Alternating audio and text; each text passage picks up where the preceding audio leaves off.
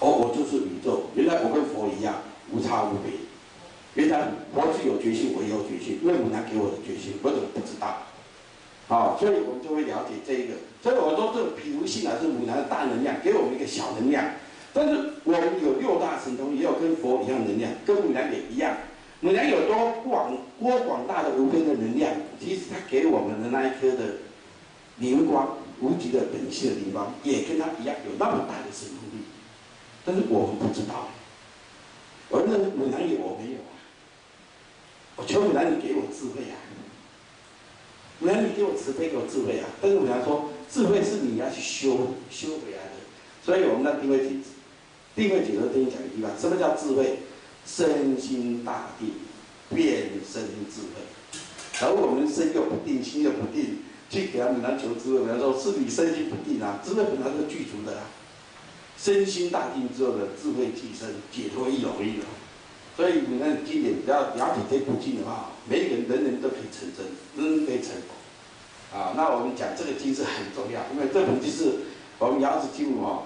开像我们这个堂主说，六十年来了，一直把南京要把它讲得很清楚，让他有一个非常明确的方向。然后拜佛你拜拜哈，拜他就不老。我说他拜佛他拜了十五年，后来他不拜了。我说你怎么不拜了？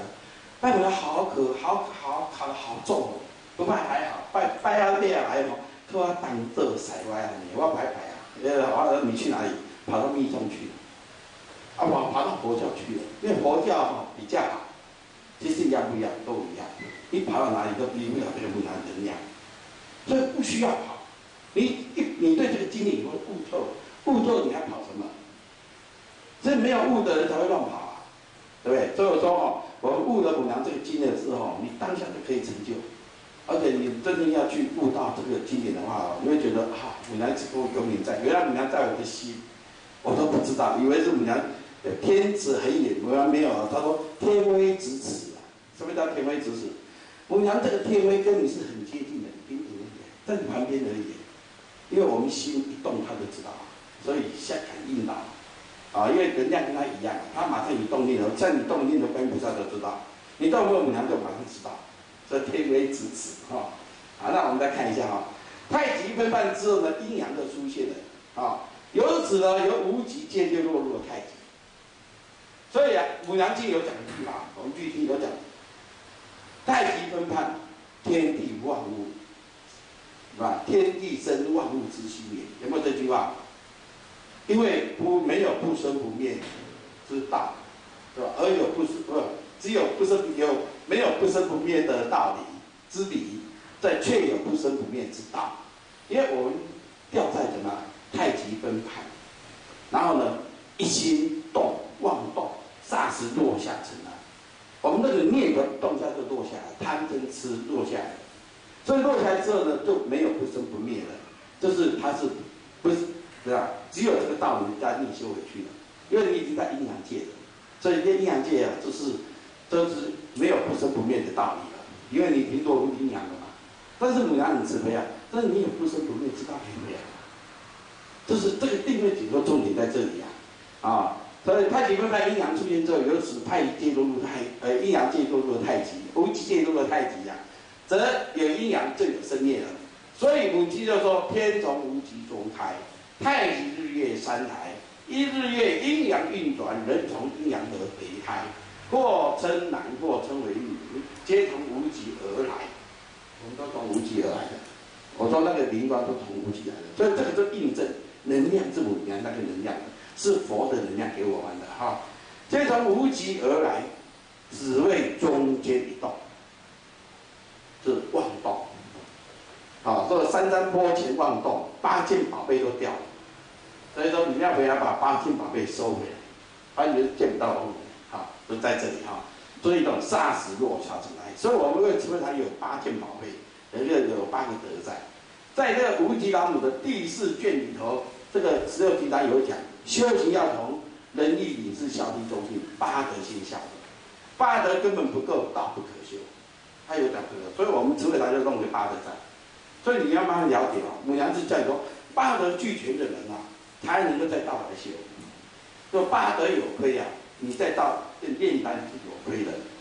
不能俱全。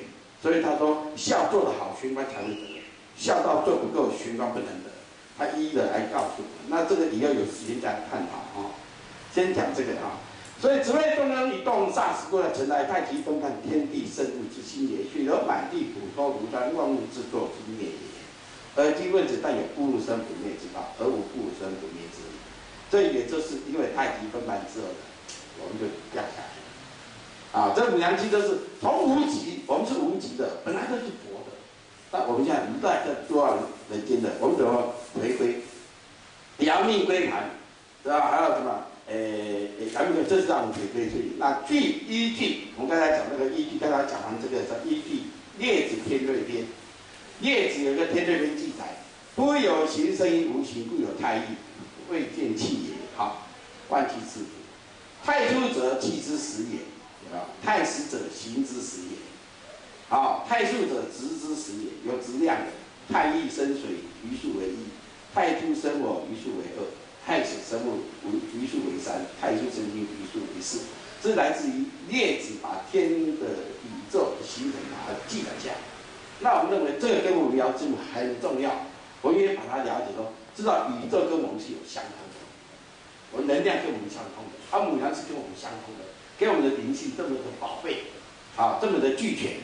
啊，那我们再看一下啊，啊，道经就约了，太一时期就称为龙汉水节，太初时期称为严康果节。啊，太史时期称为上皇木节，太初时期称为赤明金节。好，这是由上面这样来解释，他就更清楚的了解了。那我说我们要讲这个经典以前，先了解母娘的宇宙形成之后，再来讲我们的灵性。这样的话，大家会比较怎样？对这条道路百分之百的有信心。南宫南宫山都没题，我看会抢起来。啊，拜父就对了。哇，我我有啊，但是拜母娘。拜娘能不能一定回归？有也不一定回归呢。我说有三种人哈，我这样讲一下哈，大概我们再把它擦一下，擦一个历史。有一个人说他他他在走佛教啊，那我说走佛教有三种，一个人是啊，说闽南有三种人哈，第二叫什么拜佛，第二叫什么求佛，第三个学佛。不一样的，我们拜母娘一样哦。一个拜母娘，足虔诚的，不够虔诚，但是袂得到。第二呢，求母娘好，又足怕求唔着嘛无甘愿。第三个，合母娘无坏，无坏要好。母娘是慈悲，咱唔俩好人，那学母娘共款啊。学伊大嘴大鼻啊，但咱学袂着，咱当当发脾气，当当完全受了。我拄啊讲讲，咱家母娘能量是一样的，无差无别。你学母娘学教，你就学啦。你就转来，你学无教，你若要求母娘想要求物件，然后大家都在母娘求东西，有谁愿意为母娘做东西、做事情？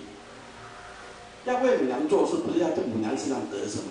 得有很多妻子在母娘吼，我求好看给我，啊求的我来拜，求好我敏感，我来买金，很多大家都会这样。都不对母娘是要我们学这个道，去了解母娘的精神跟她的能量。那我们是无极的能量，我是无极的灵体，我们要跟她一样，她做得到，我们也做得到。我们来学母娘，发挥母娘的大慈大悲的精神。哦，一跟她的层次的不一样。好，我所以我认为这个也很重要。所以把这个拜佛跟求佛这两个都不能成就，唯有这样学佛可以成就，唯有学母娘可以成就。大家了解吗？这个观念怎样搞得比较清楚一点啊？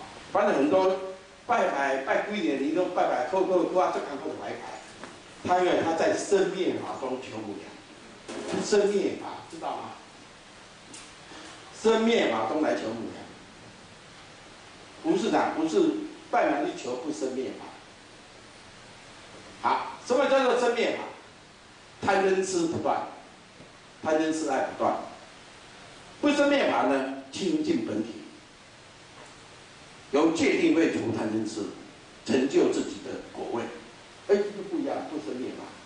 那不生灭的东西在哪里？在我们的灵体，每个人的灵体都是不生灭的。母娘给我们不生灭，我们去求这这一尊的不生灭的灵灵光，你可以成道。但是你不求这你就那一尊的佛，你求那个生灭，替母娘求那个生灭，永远都在贪嗔痴爱里头在埋藏自己。拜了母娘五十年也没有用了，为什么？因为没有悟道啊，不知道说无极，我们记住有无极呀，还去找外面的无极呀。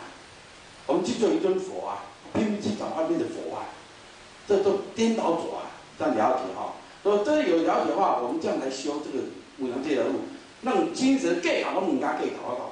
到底哈，跟更好端结的跟更较大，当然不是啊，都要计较啊，分别呀。如果碰到计较分别，就是生灭嘛。没有计较、没有分别心的，就是不生灭嘛，很简单嘛。因为每天在计较嘛，讲我上还是你下，我高还是你低呀，我有还是你没有啊？讲这些东西都是生灭嘛。这个叫做阴阳界的生灭法，有你在阴阳的轮回中。不生灭法的时候就不会这样子，就会把那个淡掉那个争执，是分别心的争执，妄想的争执心，把它慢慢淡掉，然后求那个不生灭法，解脱，自信解脱回来。哈，好，那这个大概也是言谈一下哈。那我们再讲下面，由以上得知哈，宇宙的形成啊。这要做全部的解释哈，只有黑洞的水晶尚未有气的存在，经过四十亿亿多年之久才成了火的元素，水经过火的混合才产生了气，犹如水蒸气一般的自然现象，故称为气之始也。在经过四十一亿多九年之后呢，才产生了木的元素，混合而成才开始有了形，然后呢，经过四十亿多年的之久后产生金的元素，这个阶段的混合的时空才有了质的。能量，因为水有金无气，火有形而有呃火无形而有气，木无质而有形，金无体而有质。诸以上的四段时空演变，均称为无极。大家讲为什么要叫无极养殖金就这样，为什么要挂个无极？别的地方都挂不了，连佛都不能挂无极，佛还不能挂无极，佛只能讲佛，佛我们也是佛啊，我们也是佛啊。但是问题是，佛是把我去变成佛而已啊！但是我们给我们本来就是佛啊，所以我有没有觉呀？啊，我一一句话哈，来，我讲心转物，即同如来，跟如来一样，心物转心，物转心，是名众生。若万物的东西转你的心，你就是众生。你心能够转悟，不执着，你就是如来。他说如来跟我们都是没有差别的，是在一个境界的差别，这样懂吗？思维上的差别而已。还有一种叫做背尘，背尘合觉，背尘合觉就是佛。还有背觉，背的觉性合成，合你的尘，他拿这个尘跟尘合在一起，啊，违背你的觉性，这叫众生。所以佛跟众生也是一样的，只是观念的差别而已。他觉一个是迷，其实我们本来就是佛。如果我们不要再去找佛，因为我们本身有尊佛在。所以我们如果在拜母娘，就把我们的佛本来律法找出来，灵灵透透找出来，那在哪里找？定位解脱。不定位不解脱都找不到。那等下这精彩在后面的定位解脱啊。那我们大概也这这讲了一下，就是再来讲未见体的宇宙光明具备的气形质，又有太一、太初、太始、太数的时空之分，所以已经具备了气形质，但犹未分离。